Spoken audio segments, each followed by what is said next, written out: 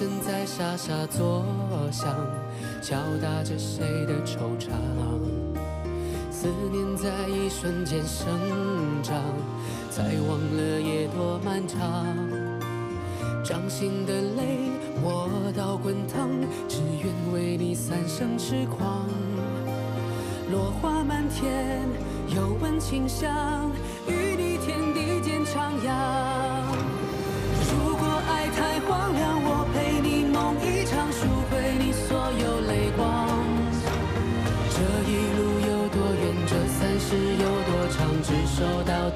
天荒。风凄凄，雾茫茫，雨滚滚，雪漫漫，一步步都陪你同往。牵着手，别惊慌，管明天会怎样，哪怕注定流浪，哪怕海角天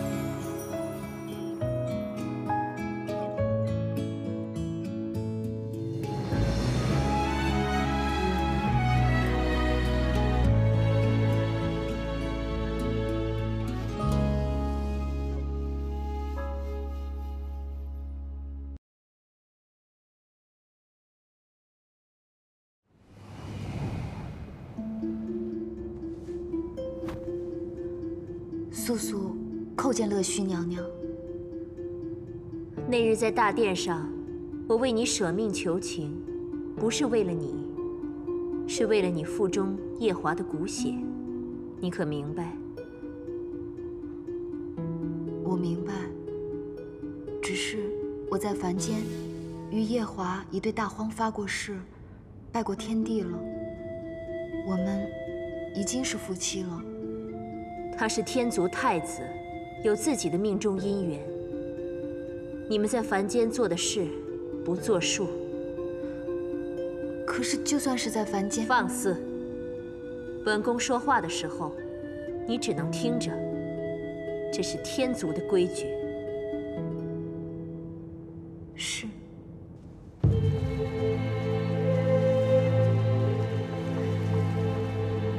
参见天君。素锦，带本君去见太子。是。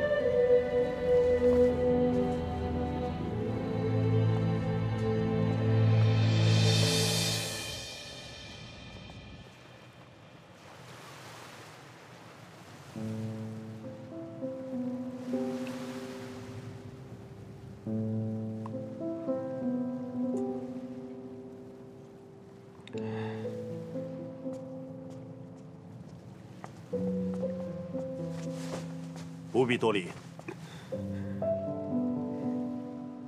为何不小心行事？是孙儿太过急切了。天兵到长海，当夜就开战，也算是兵行险招。孙儿甘愿受罚。夫君，夜华这一次被砍得生死未卜，也激起了将士们的斗志。他们仅用了三日，便大获全胜。夜华也算是立了功了。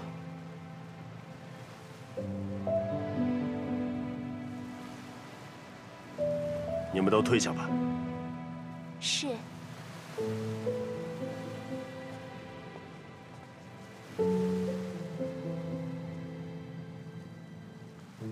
前几日，我带回来一个凡人，腹中竟有你的骨血，这到底是怎么回事？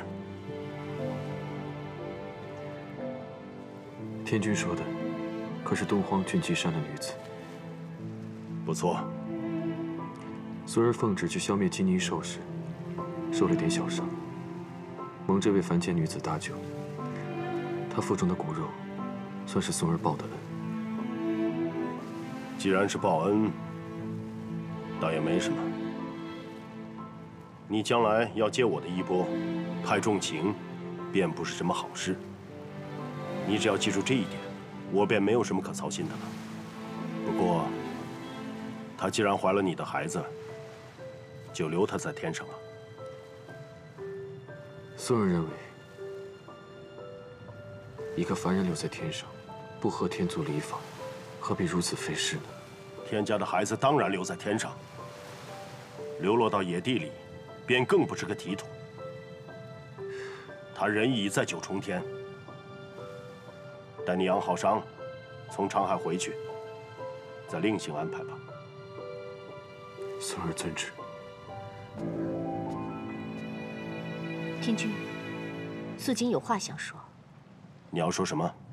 那个姑娘，她虽然只是个凡人，但是腹中已经有了太子殿下的骨肉。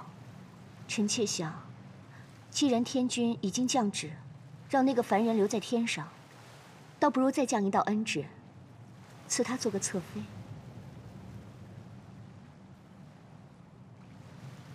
侧妃？小天孙的母亲若是无名无分，日后降生，免不得会被人在背后笑话。不可，她是凡间女子，不可做太子的侧妃。不错，若是随便就封这个女人为侧妃，这会有违天族的礼法，还有青丘白浅这边也会无法交代。所以素锦天妃这个主意实在是不妥。好了，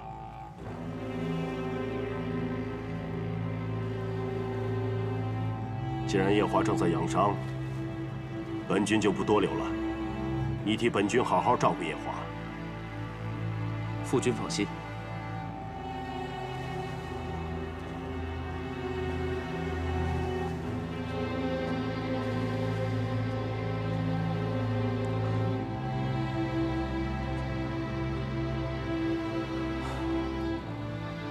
算是看着素锦长大的，怎么越发看不透她的心思了？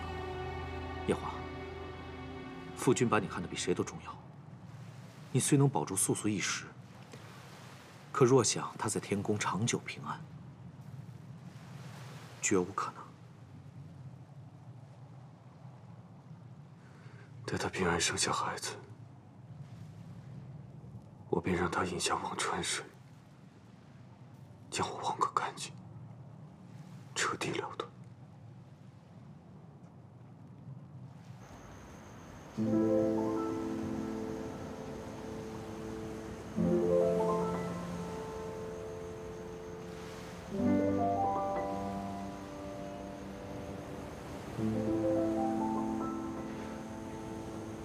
本君以为你最为懂事，却未料。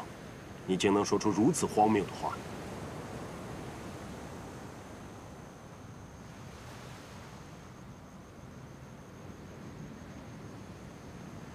天君，这面铜镜是太子殿下随身携带之物。那日殿下受伤，臣妾将它捡了回来。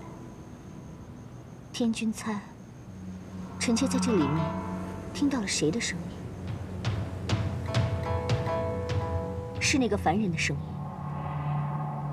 你是说这个镜子，是他和夜华之间联系的法器？太子殿下是什么性子的人，天君最为清楚。如果真如殿下所说，对这个凡人不看重，又怎会赠予铜镜？天君，你不是一直在担心太子殿下成为第二个二殿下吗？所以臣妾方才所作所为。都是希望那个凡人留在天宫，在我们眼皮底下才好处理。好，你继续替本君留意此事。是。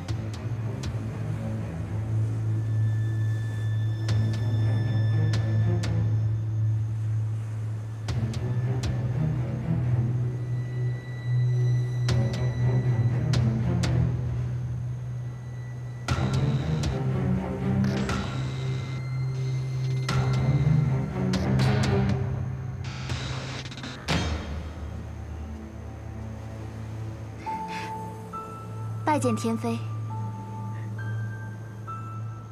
你是？我是长海水君的二女儿绿秀。夜这么深了，你来是有什么要紧的事吗？我是来给太子殿下送补药的，这是我们长海的特产，千年才能长出一株的水灵芝，对太子殿下的伤势恢复很有好处的。这样吧，我替你端进去。来，公主殿下，快去歇息吧。可怎么，还有什么更要紧的事吗？我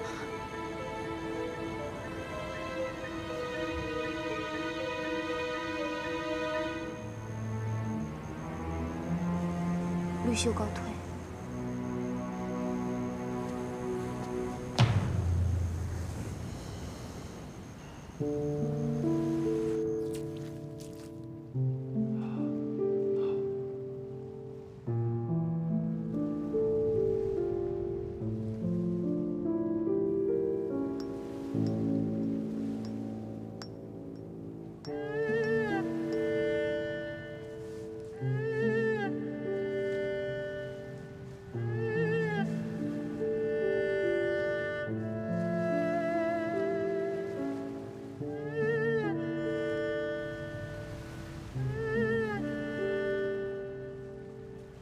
下，还需静养至少二十日，伤势再好。先下去吧。啊，是。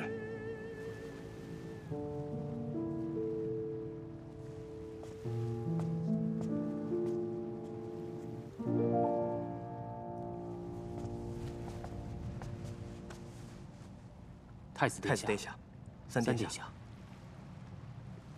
起来吧。是是。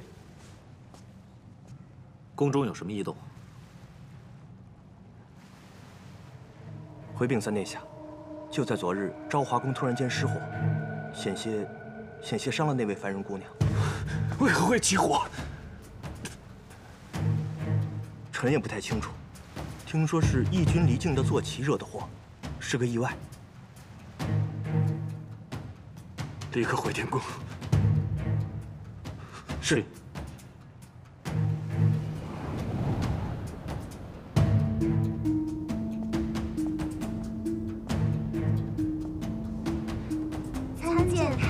殿下。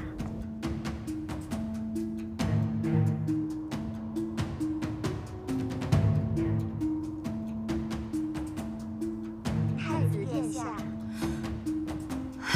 夜华，放肆！以你的身份，见到太子应该行什么礼？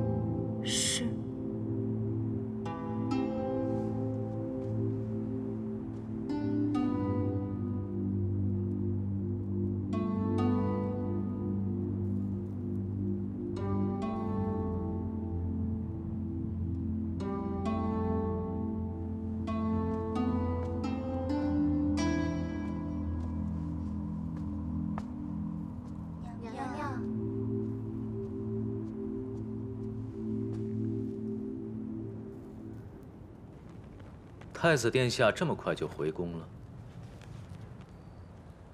或许这伤势，并没有传闻中那么重。天君已经封了药王的口，夜华又是个打碎了牙往肚子里咽的性子，究竟伤得重不重？也只有他自己和他身边的人最清楚了。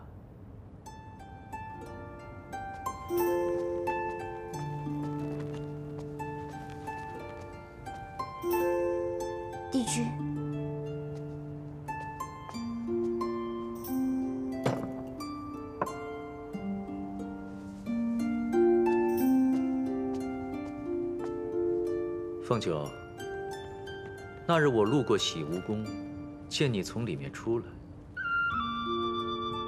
啊，我啊，我去洗梧宫做什么呀？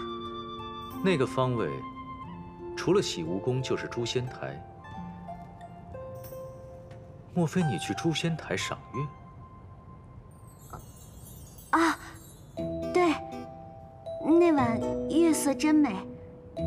让我想起青丘，不觉我就走向诛仙台了。去诛仙台赏月？是啊，那晚景色宜人，月色也特别特别好，然后我就觉得在九重天真是好，连月亮都可以看得那么清晰。月亮大大的，月是吗？喜欢就常去走走吧。谢帝君。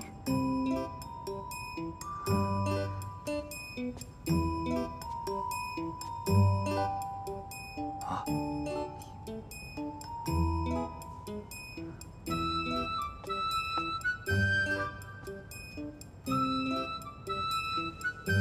司命，小仙在，记得叮嘱他，洗梧宫不是个太平的地方，尽量少去。小仙明白。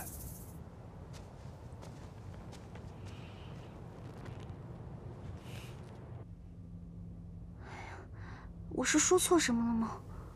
嗯。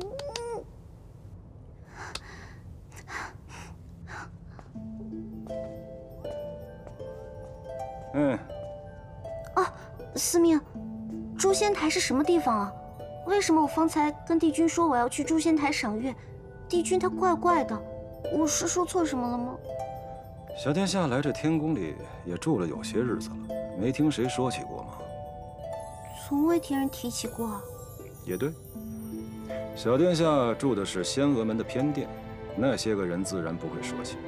这诛仙台啊，对神仙而言，自来是个不祥之地。等闲的仙站在上面，半点法力也使不出来，那是个晦气的地方。真的吗？你不是骗我的吧？哼，寻常的仙都是绕着那处走，去诛仙台赏月。帝君他老人家是懒得搭理你。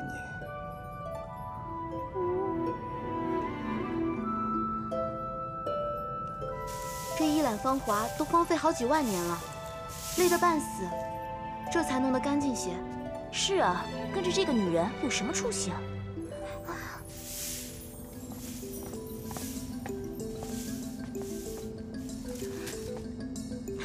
下。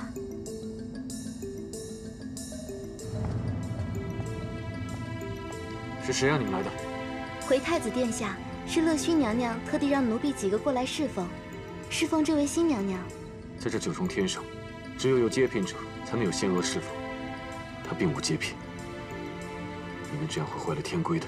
乐胥娘娘是担心这一揽芳华数万年没住过什么人，怕仙气稀薄不利于养胎，便让奴婢几个。还不退下！是。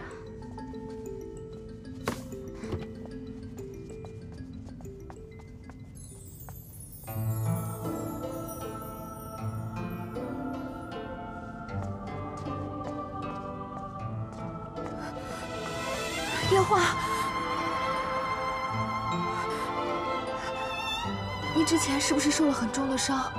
你的伤怎么样了？没事，你伤在哪里？可还好？是指这个吗？你无大碍了。红莲野火留下的伤是去不掉的，日后用衣袖遮住就好了。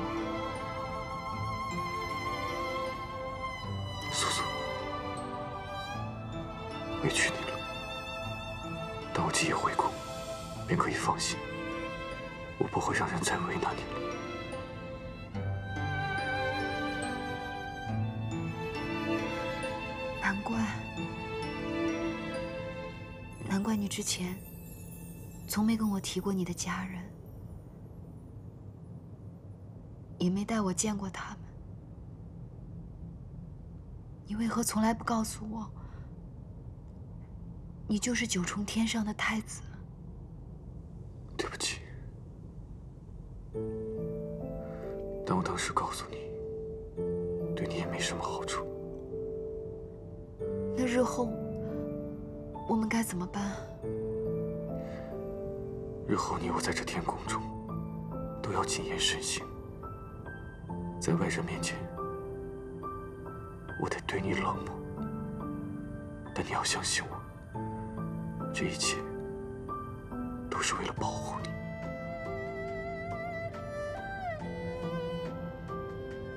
素素，我只希望你在这西吴宫中好好静养着，平平安安的把孩子生下来即可。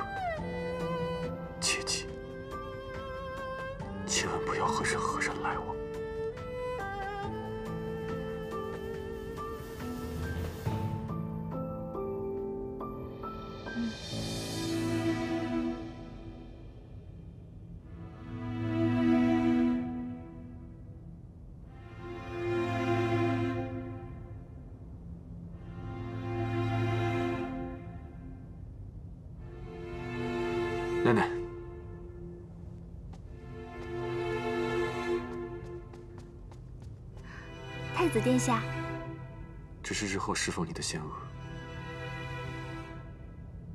娘娘，奴婢名唤奈奈，是被太子殿下从下界仙山提上来的小仙娥，日后，日后就留在一览芳华侍奉您。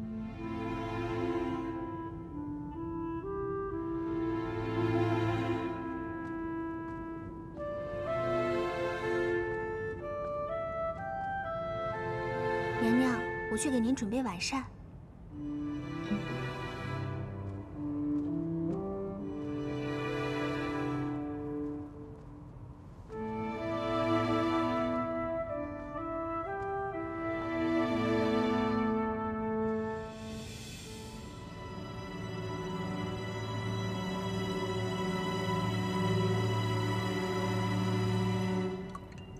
的是太子殿下遣你们回来的？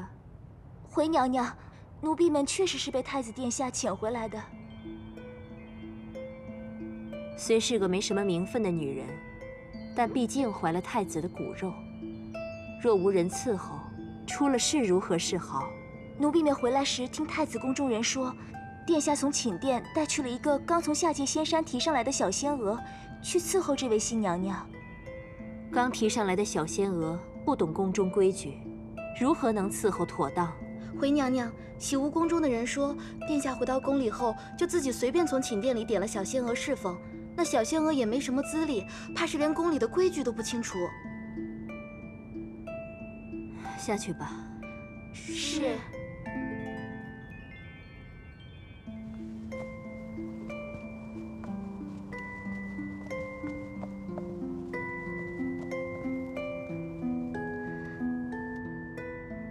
娘娘看起来很不安。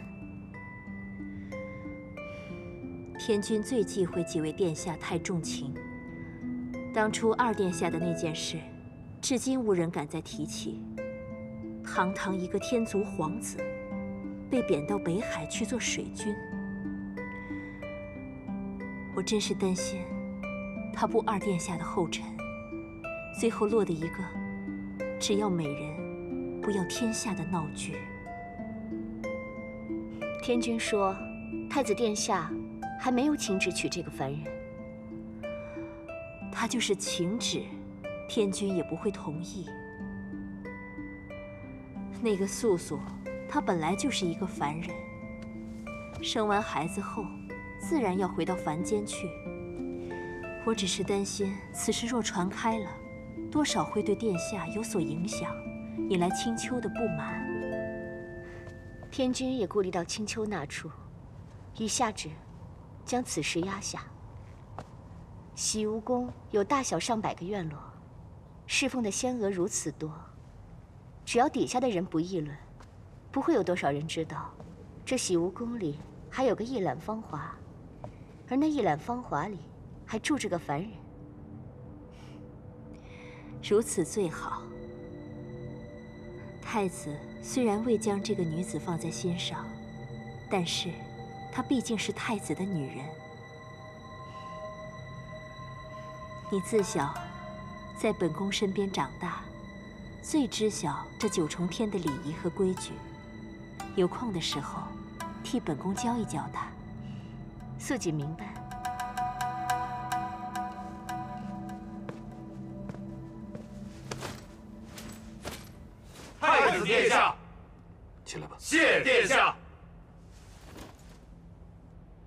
太子殿下，那日一战，太子殿下活生生挨了鲛人头领一刀，可将臣等吓破了魂呐！是啊，看太子殿下如今神清气爽的样子，根本不像受过什么伤。该不会那是一计吧？为了鼓舞士气，彻底剿灭鲛人族。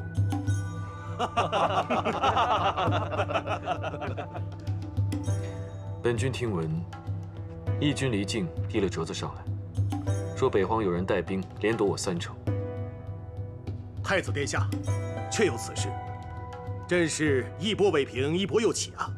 当年离境被天君扶上义军的位子，他的长兄离苑则被压到了极寒之地。不想这离苑忽然逃脱，所以起兵造反。说起来，还是七万年前那场大战留下的祸端。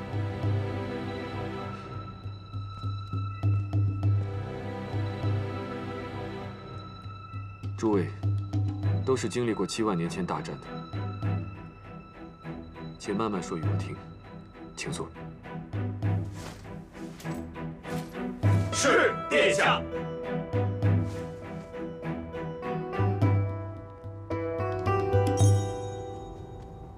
奶奶，娘娘，殿下宫中可还有其他娘娘？这喜无宫就娘娘一个。他一向都是如此忙碌吗？奴婢听说太子殿下过去也常处理公文到深夜。哎，娘娘渴不渴？奴婢给你倒杯茶。啊，不对，娘娘腹中有小殿下，不能吃茶。奴婢给你倒水，倒水。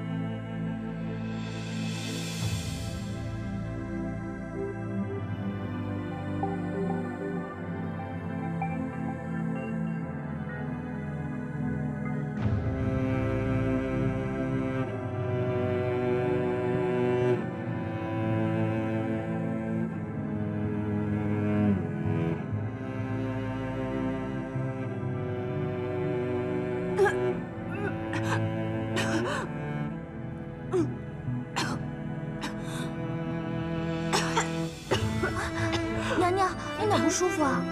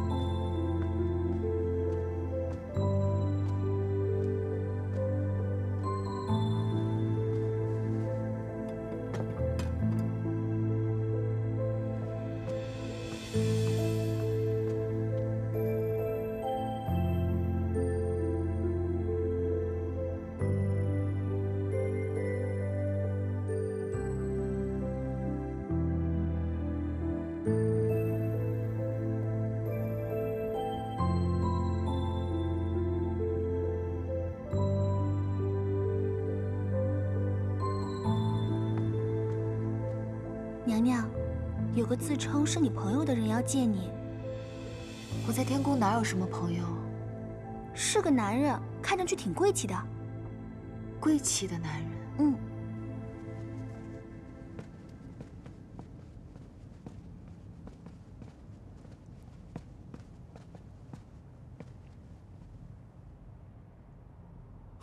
昨日姑娘走后，我的巫医说姑娘有了胎气，而且很不稳定，所以前来看看。你怎么知道我家娘娘在一览芳华？娘娘？不错，我家素素娘娘是太子殿下，呃，是洗梧宫里唯一的娘娘。没想到过了一日，娘娘就已嫁入洗梧宫。为什么太子殿下没有发出喜帖？他，他受了重伤，方才回来。让臣再为娘娘细细的把把脉吧。嗯，我不知道合不合规矩。只是平安脉而已，应该不会坏了规矩。义君说错了吧？这天宫里的规矩可是多得很。如今让你异界的巫医给我们洗梧宫里的娘娘诊脉，这不知道的还以为天宫里的药王是无用之辈。还是让我请药王来给素素看吧。这位是回义君，我们家娘娘就是天君新封的素锦天妃。失敬。无妨，我也是刚才看到了大门口的火麒麟，才猜到屋里有义君。既然素锦娘娘都这么说了，我也就不多此一举了。告辞。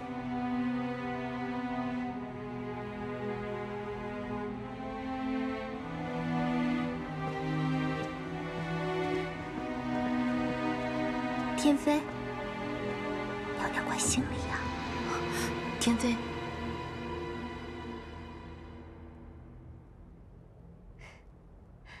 你是太子殿下的人，以后人前行礼就算了，人后就不必如此多礼。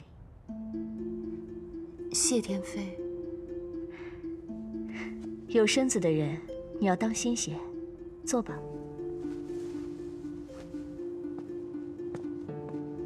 君上，君上去了何处啊？我去了洗梧宫。去找太子殿下赔罪了。太子殿下不在宫中，我就顺便去看了看昨日的那位姑娘。昨日的那位姑娘，殿下只不过与她有一面之缘，为何专门跑去见她？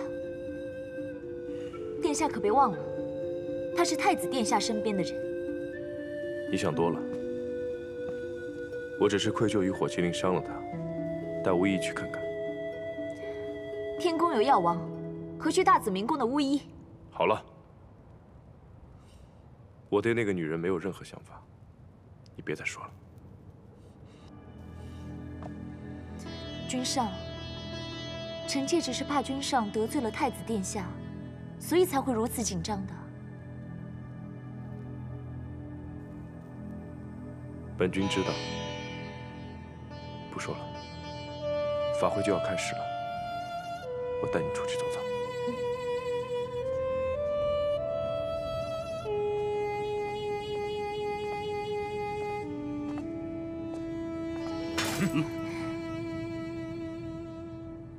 干什么？义军是贵客，可这位娘娘却是天族的叛徒，还是请娘娘回到客房内休息，直到返回异界吧。你们不能如此限制我，我是义后。娘娘，请回吧。你们竟敢如此对我！你先回去歇息吧。今日有宴席，我必须得去。你在客房等我。君上，我是一族之后，也是你的妻子。他们如此对我，不是在羞辱你吗？羞辱我又如何？一族的太平才最重要。快进去。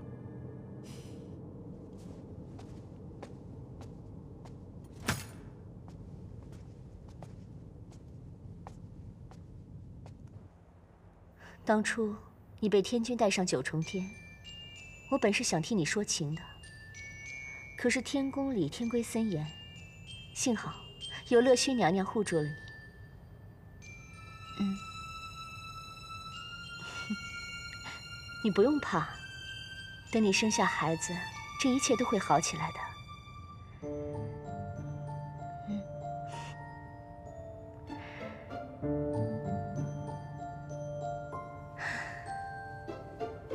这一览芳华，听着名字不错，可是内殿怎么竟如此简陋？这墨和笔，也并非是夜华喜欢的。夜华没有说要换吗？这些都是奈奈摆放的，夜华并没有留意。也是，他教人族一战，险些丧命。刚回宫，又日夜忙着处理政务，怎会注意这些？险些丧命？你没看到他身上的伤口？那是被斩破神刀砍伤的。当时我也在长海，我怕他真会死，守在他身边几个日夜，却不敢多看一眼那伤口。他历来就是这种打碎牙往肚子里吞的性子，自然不肯说自己伤得有多重。从前我们在一起玩耍时，他偶尔受了伤也不会说的。是吗？是啊，他这个闷葫芦。你也别多想，他从小就是这个性子。从小便是。我陪着夜华一起长大。后来我嫁给天君，他便不常跟我说话了。啊，不说这些了。灵宝天尊这几日开了个法会，四海八荒的神仙都会去。他又是太子殿下的师兄，殿下自然也会去一趟。啊，还有，这天宫里稍有些阶品的人都得了帖子。你可以想去看看。没有夜华的指示，我不能离开这里。你随着我出去，没人会拦你的。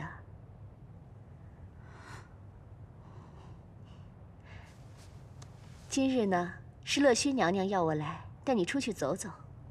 妹妹，你既已是太子殿下宫里的人了，你也得学着应付这些呀。乐胥娘娘，嗯，乐胥娘娘也晓得夜华不能多陪你，怕你闷，让我带你去法会走走。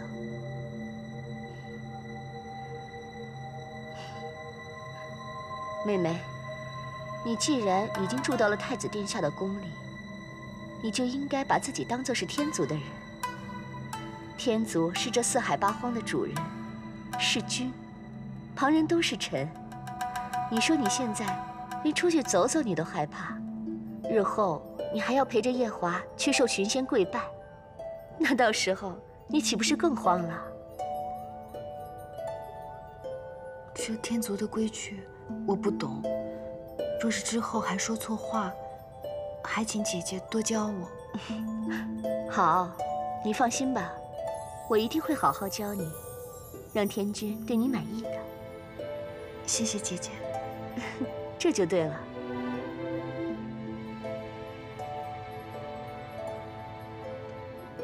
啊，这把扇子，我看着倒像是昆仑虚的法器——玉清昆仑扇。这扇子是赝品，之前我确实跟玉清昆仑扇很有缘分，在凡间的时候，还因为这扇子被人算计过。不过还好，后来那扇子送人了，我又拿到这个赝品。那既是赝品，平日就不要带在身上，免得惹来不必要的麻烦。我倒不随身携带，将它放在殿中。奈奈，替我将扇子收好。是。